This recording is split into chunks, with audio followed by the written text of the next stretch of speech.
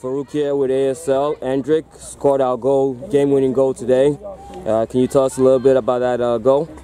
Um, well, it was just like we'd had so many chances before, and it's a lot different style of play out here, and it's just a lot more physical. And then we see our opening, and we hadn't taken a chance all day, and it was one of the last minutes.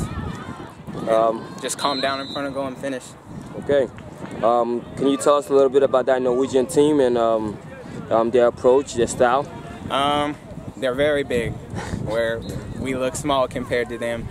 But yeah, they just try to play with physicalities, physicality and push numbers high. And okay. then they leave their backside open a lot, but if we can play more physical, we'll be fine. Um, who gave you the assist? No, I'm Patrick Muncy. Patrick Muncy?